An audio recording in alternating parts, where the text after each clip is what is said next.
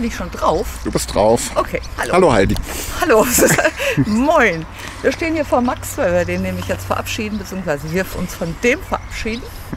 Für zwei bis drei Wochen und wir gehen tatsächlich auf unseren ersten Urlaub. Corona-bedingt erst spät im Jahr, aber immerhin. So. Wir sind jetzt hier am Hafen in Malchow, wollen euch dann gleich mal das Ambiente ein bisschen zeigen und äh, etwas über unsere Pläne verraten, die wir haben. Genau. Dann gehen wir doch mal langsam zu dem Steg runter. Das Grundstück, was ihr dann vielleicht gleich seht, äh, beinhaltet äh, auch ein Ferienhaus. Vielleicht guckst du da mal hin. Gut, dann verstehe ich dich aber nicht mehr. Dann bin ich still. Also Muss ich hinterher lauter Autonummern Ferien- rauspixeln. Ja, äh, macht ja nichts. Ähm, Das ist also ein, ein Ferienhaus, was unserem Servicemann auch gehört, der für uns das Winterlager in Waren und hier den Sommerliegeplatz in für den alten Fischereihafen in Malchow vermietet hat. Ähm, Die Leute können dann auch da hinten ans Wasser gehen, das seht ihr dann gleich.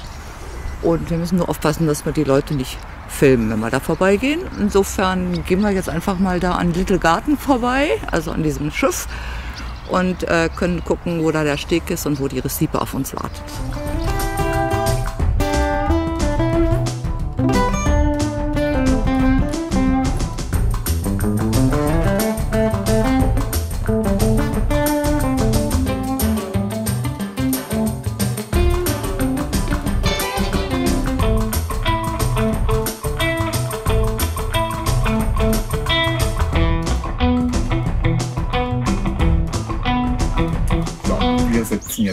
Unserer Recipe oder Wie- Recipe.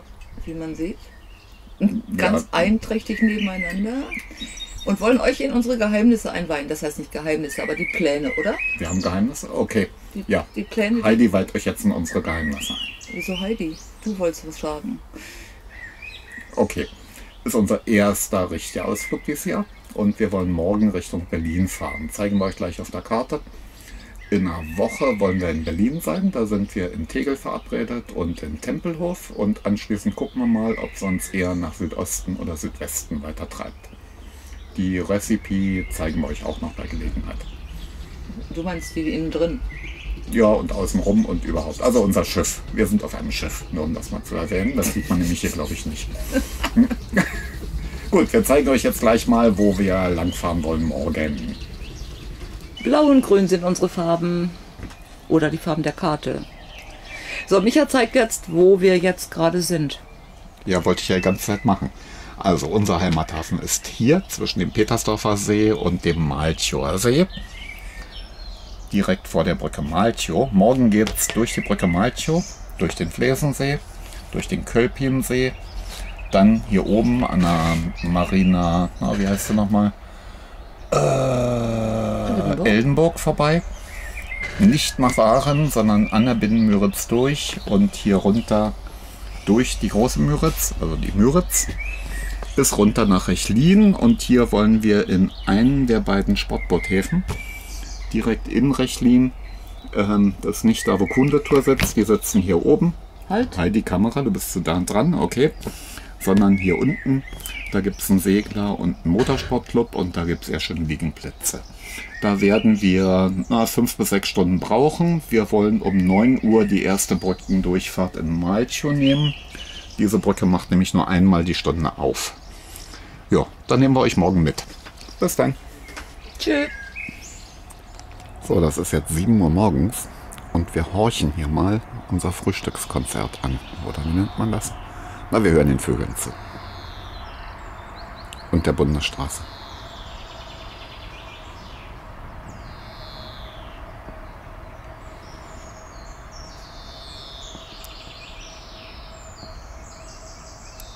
Jetzt ist an. Hallo, guten Morgen. 8.30 Uhr, wir legen gleich ab. 8 Uhr, nein, um 9 Uhr macht die Brücke in Malchow auf und die wollen wir kriegen. Jede Stunde einmal, also wenn wir die nicht kriegen, müssen wir warten. Bis später. Genau, bis dann. Heidi nimmt die Vorleine, ich nehme die Achterleine.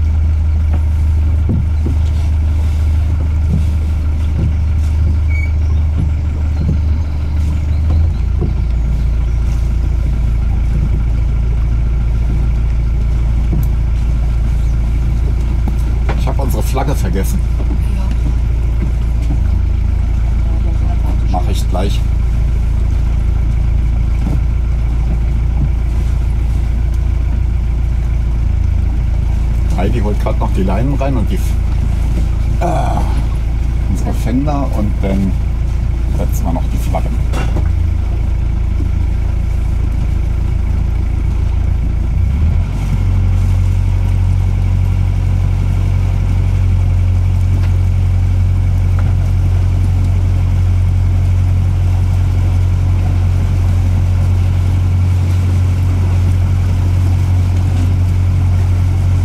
Unter der, unter der Matte ist alles nass.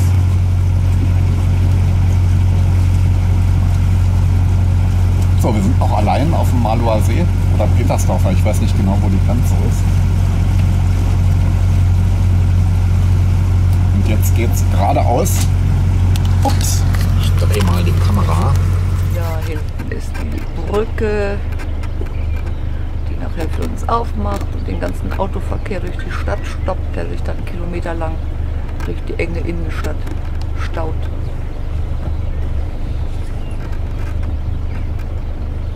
Im weiten Rund kein anderes Schiff außer uns unterwegs, ja auch noch früh am Tag.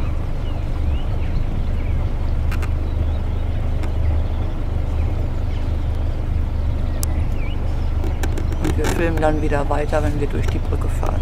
Dann seht ihr mal, wie gefährlich eng das ist. So, hier sehen wir jetzt den Stadthafen von Malchow, der direkt vor der Brücke gelegen ist. Dort ist die Brücke. Hoppala, noch auf dem Bild hier.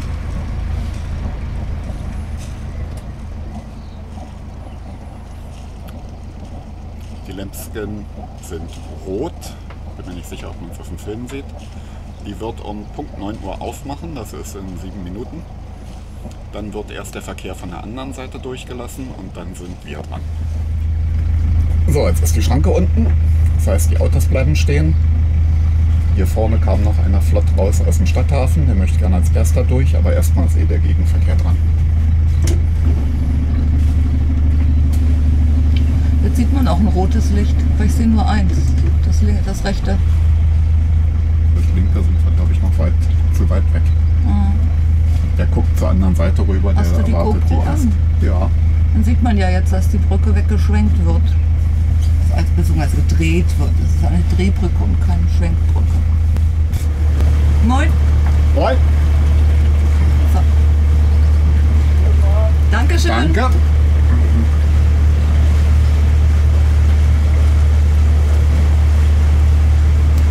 Wir werden gefilmt. Oder was? Ich Das jetzt- sieht so aus. Ja.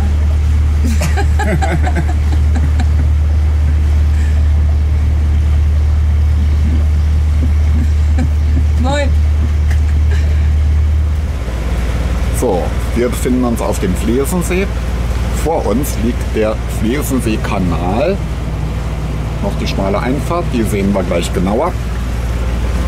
Und hinter uns, ne, logischerweise, der Flesensee. Durch den Flesensee-Kanal fahren wir anschließend in den Kölpinsee.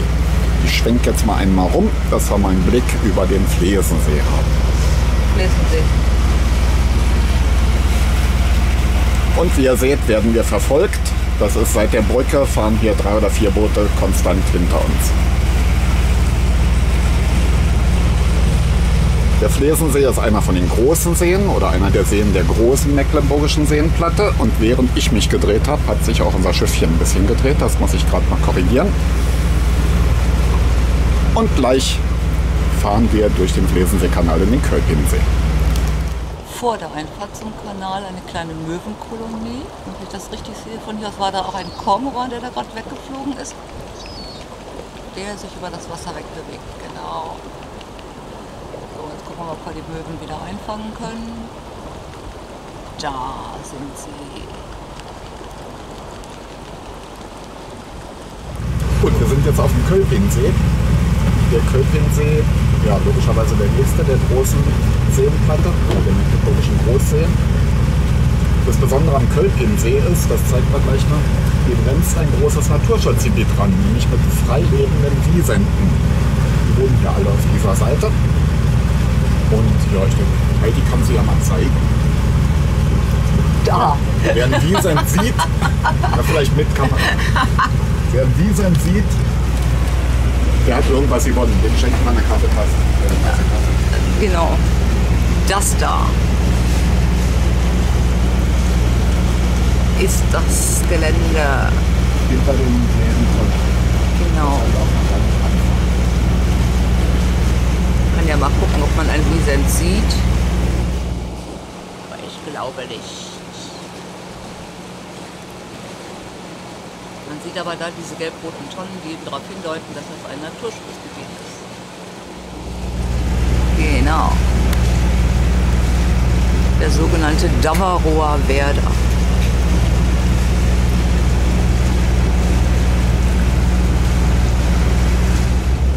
So, ein Blick auf die Karte zeigt uns jetzt den weiteren Verlauf. Wir kommen von links aus dem Kölpinsee und fahren durch diesen engen Kanal, kommen an Eldenburg vorbei. Das ist übrigens der Hafen, wo unser Boot immer eingesetzt wird nach dem Winterlager und rauskommt, wenn der Sommer um ist. Fahren dann dort durch vorbei, durch den Regkanal und kommen dann zur Binnenmüritz. Das war ja schon hart. Da war es nicht mehr. Weiß nicht.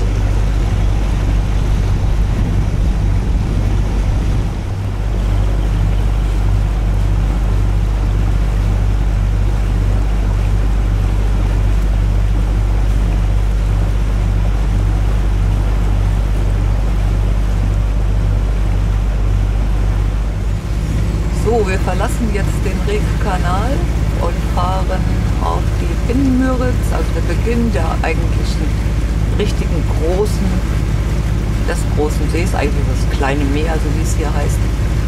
Und von der Binnenmüritz aus geht es dann südlich runter Richtung Rechtlin. Und was wir da hinten sehen können, also ich sehe es zumindest hier, es sind die Kirchtürme von Waren, der gotische Bau, das ist die Marienkirche. Und rechts davon ist der Hafen in Waren an der Müritz.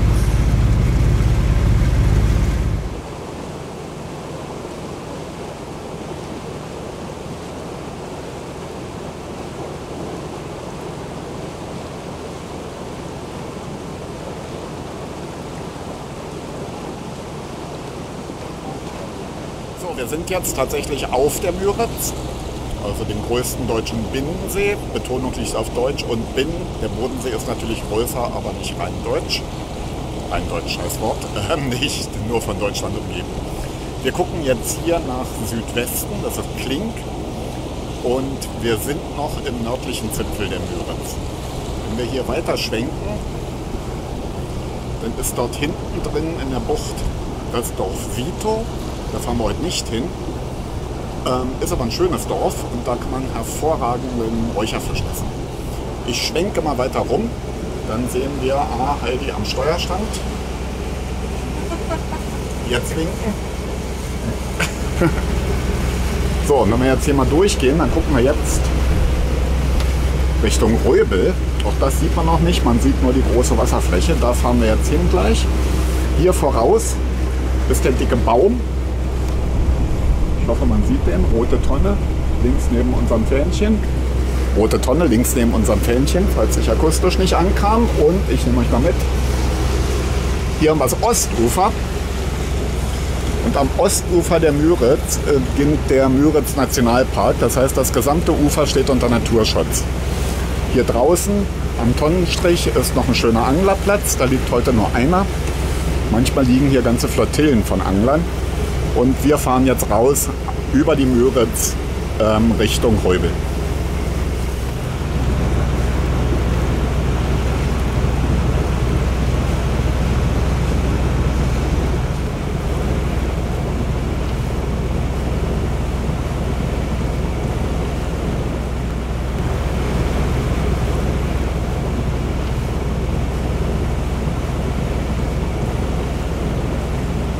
Wir sind jetzt mitten auf der Müritz. Am westlichen Ufer sehen wir Röbel. Und wir sind gerade ja, an der Tonne Mitte vorbeigefahren. Und links und rechts oder Ost und West von der Tonne Mitte liegen jeweils zwei Flachs durch, oder jeweils ein Flach, durch Kardinaltonnen abgegrenzt. Ich gucke mal, ob ich die hier rausbekomme. Na, wo ist er? Da. Das ist die eine. Jeweils vier Stück, Ost, Süd, Nordwest, begrenzen ein solches Flach. Und zwischen den beiden wir jetzt durch. So, vor uns liegt der Hafen ähm, Rechlin. Nicht das Hafendorf von Kundetours, sondern der Sportboothafen. Und an dem werden wir jetzt anlegen. Hoffen, dass wir ja, da am Außenlieger längs was finden. Nicht direkt an der Außenmode, da kann es sehr unangenehm werden. Hier, die kleine Müritz kann ganz schön Welle aufbauen. Ähm, wir gucken, dass wir da reinkommen. Wenn nicht, gucken wir, ob wir drinnen was finden.